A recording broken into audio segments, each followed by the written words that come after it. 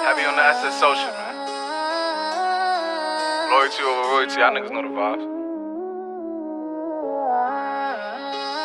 Fuck your kill this beat, bitch. Whoop, it, bitch, I'm outside of some movie.